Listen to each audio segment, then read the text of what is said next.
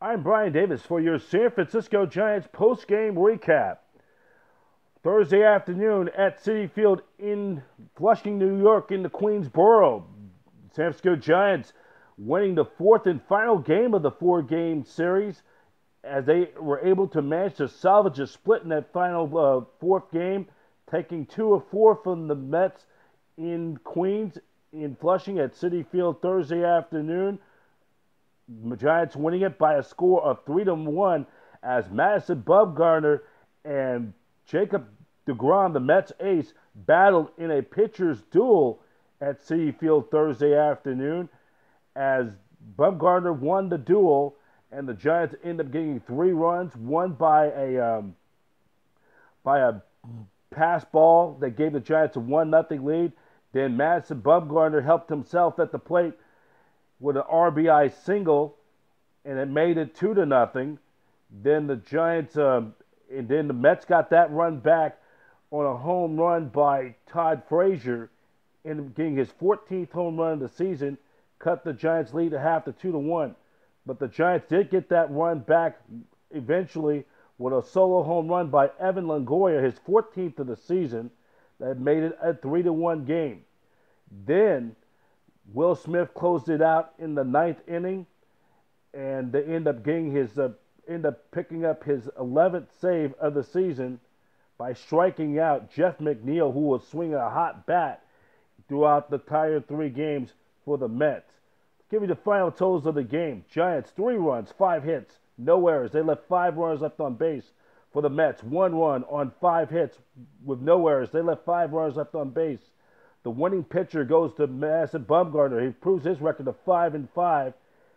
Mad Bum is now six and zero oh at Citi Field all time versus the Mets at Citi Field, of course. The losing pitcher Jacob Degrom, who pitched very well in the losing effort, his record drops to eight and eight. He goes six innings. Degrom, six innings pitched, giving up only one hit, two runs, one unearned run and one earned run, walked four with 10 strikeouts. He lowers his ERA to 1.71. That's the lowest by any pitcher in the major, major leagues. His 10 strikeouts Thursday afternoon gives him 214. That leads the National League. And DeGrom pitched very well, and he know he's better than the 8 and 8 record is reflective due to the Mets' poor offensive run support. Time of the game, or the home runs of the contest, was by Longoria, his 14th, and Frazier also hit his 14th for the Mets as well. Time of the game, 2 hours and 36 minutes before a paid crowd of 25,584. Giants would finish the road trip with a 4 and 6 trip and they will be back in action as they will be traveling home back to the east, traveling back west to begin a nine-game homestand. They'll play against the Texas Rangers in interleague play in a rematch of the 2010 World Series matchup.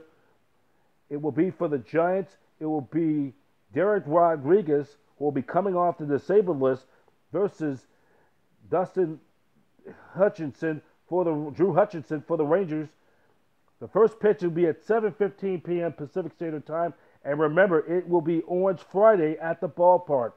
Get your tickets at sfgiants.com. Once again, the final score Thursday afternoon from Citi Field in Flushing, Queens, New York. Giants win the fourth and final game of the four-game series over the New York Mets by a score of three to one. I'm Brian Davison. So long. You've been watching San Francisco Giants post game recap. Hum, baby, go Giants.